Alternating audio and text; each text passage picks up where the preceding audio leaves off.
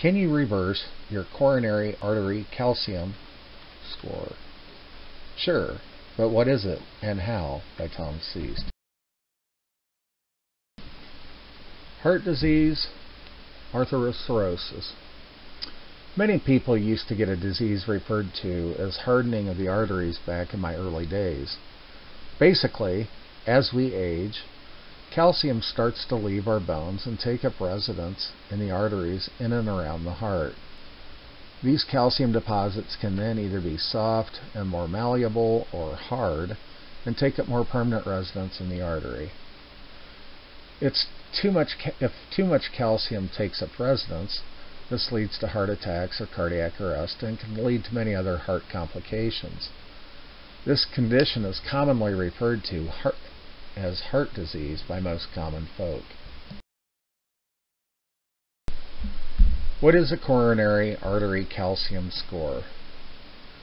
The deposits of calcium that accumulate in the arteries can be measured using an imaging test, and this measurement is called the coronary artery calcium score. The imaging test can be performed by a radiologist at a hospital almost anywhere if the governing bodies allow it.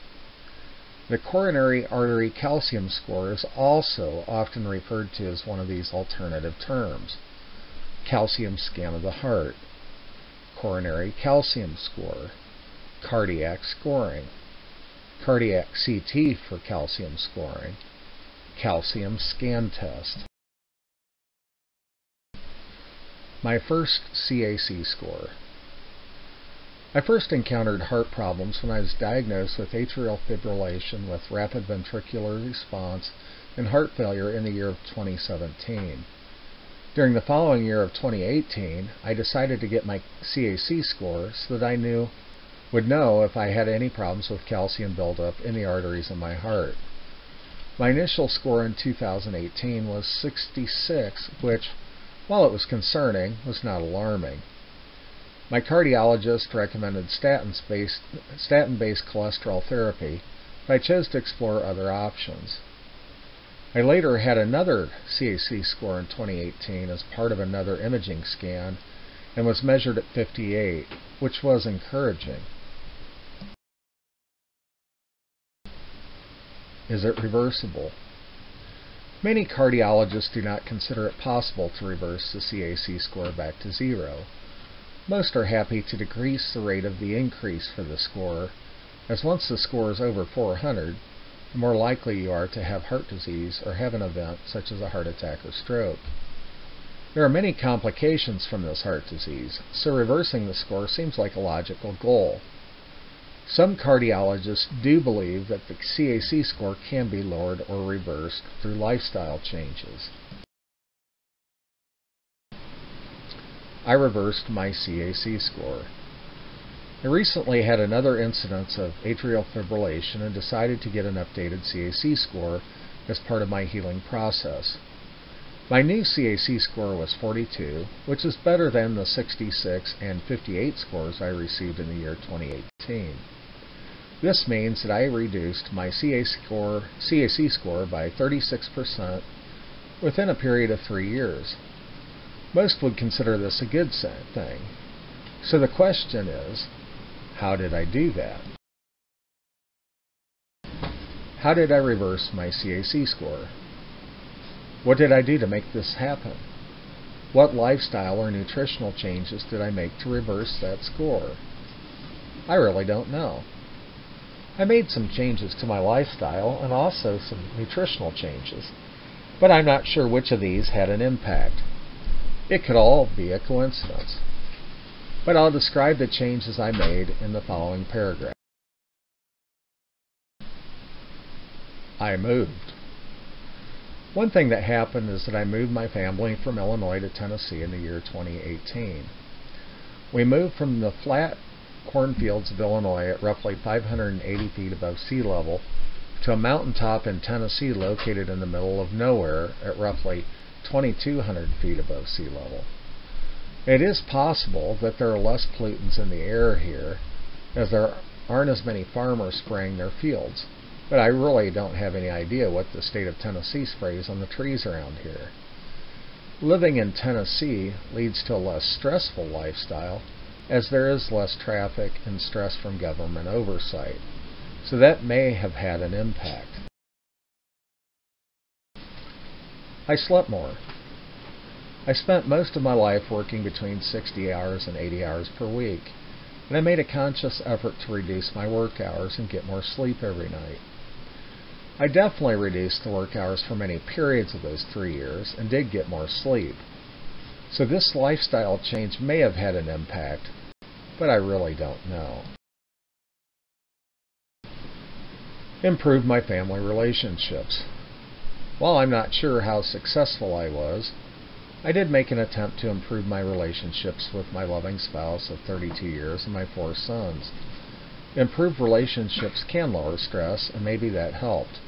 But once again, I really don't know. My ketogenic diet. I have been eating a ketogenic diet since the year 2014 with no fear of consuming protein or fat. My dietary intake has been primarily carnivore with some weekly dalliances into the delights of various vegetables and limited fruit. I have not restricted dairy for any length of time.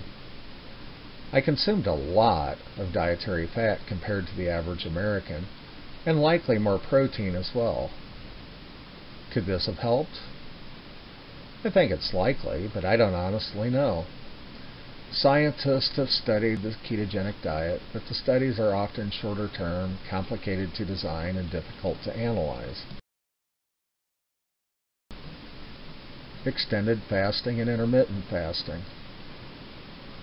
While I have done a lot of fasting before the year 2018, I limited my fasting to anywhere from 18 hours to 5 days during the years between 2018 and 2021.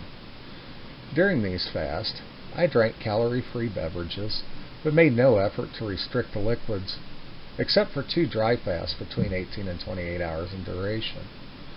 I fasted fairly frequently, but only when I felt up to it and felt unstressed. I used these fasts to reduce my ejection fraction while I was in heart failure as well. Did this fasting impact my CAC score in a good way? It's highly likely that autophagy, growth hormone, and stem cell production all play a part, but the body is complex and the science surely isn't clear on the topic. I think it is likely it had a large impact, but I don't really know for sure. vitamins and supplements. I took a lot of vitamins and supplements during this period of three years. I took 6,000 to 20,000 IU per day of vitamin D3, 540 to 180 microgram of vitamin K2 in the form of MK4 and MK7, magnesium in taurate and glycinate form, sodium, CoQ10 with ubiquinol, selenium, 40,000 SPU of serrapeptase, 200 milligrams of nattokinase, glutathione, berberine, NAC, and too many more to mention. I did this against the advice of my cardiologist, who considers it all to be a waste of money and time. Did it have an impact? I believe so. I think it's likely. But I honestly don't know. Receive thoughts, prayers, energy, and scorn. During the years 2017 through 2021, I received lots of thoughts, prayers, energy, and scorn as a result of these extended periods of heart failure. Two were six week in duration, and the first was 15 months. I will never discount this as having an impact on my overall health and well being. I believe in the giver of heartbeats, and I have that belief, and may have, it may have had an impact on my CAC score. I honestly don't know, but it likely did. I gained 80 pounds. I have gained 80 pounds as a result of my three heart events between the year 2017 and 2021. This is after dropping from about 600 pounds down to 280 pounds before my first heart event. Each of these events had a cause which included black mold toxicity, pneumonia and resulting inflammation, and teeth and gum inflammation. But could gaining weight be cardioprotective for the arteries? I doubt it, but I don't know. Every time I have healed up from one of these heart events, I've automatically resumed losing weight at my typical 30 to 40 pounds per year rate that was standard, standard before these events. Reduced exercise. I rode my bicycle 24,000-ish miles between 2011 and 2017 and then reduced my riding after that due to my heart events. I still love riding, but it takes time, and I've reallocated to, to maintain the conditioning to do that level of bike riding. I have no regrets. Did my reduced level of exercise and fitness help reduce my CAC score? It was a major lifestyle change. I honestly don't know, and I don't think the scientists know either. I tend to be excessive when I do things, and bicycling was excessive. But did I have an impact? I'll have to ride and think about it more. Zero sugar Monster Energy Zero Ultra drinks. I consumed an average of four or five of these 24 ounce cans per day, a habit I did not acquire until the early days of my first heart event in 2017. I discovered that drinking a can of this every three or four hours lowered my heart rate by 10 to 20 beats per minute by accident. So I made it part of my regular daily routine. Could it be the 560 milligrams of sodium, 210 milligrams of caffeine, the proprietary mix of vitamin B3, B5, B6, and B12, taurine, carnitine, or other ingredients? Or that I have added two cups of coffee also? Could these have helped me reverse my CAC score? I have no idea. Maybe someday the scientists will know. Ate bacon and eggs. I ate a lot of bacon, eggs, pork belly, pork butts, steaks, hamburgers, and cheese during that time period. I tried to consume at least 7 grams of sodium per day instead of the low sodium heart healthy recommendation of my doctors. Could this have had an impact? Is a high sodium diet a positive thing? Who knows? I certainly don't know, but that's what I did. I don't know. I reversed my CAC score by 36% in three years, but I have no idea how. I've outlined the changes I made to my lifestyle and nutrition in general terms during that period of time. But I still don't know. I know I don't know. I wish I did. I made educated guesses based on daily and weekly observations. But I was the lab rat in my lab called life. I had to make tactical choices, some or most of which my cardiologist would likely disagree with.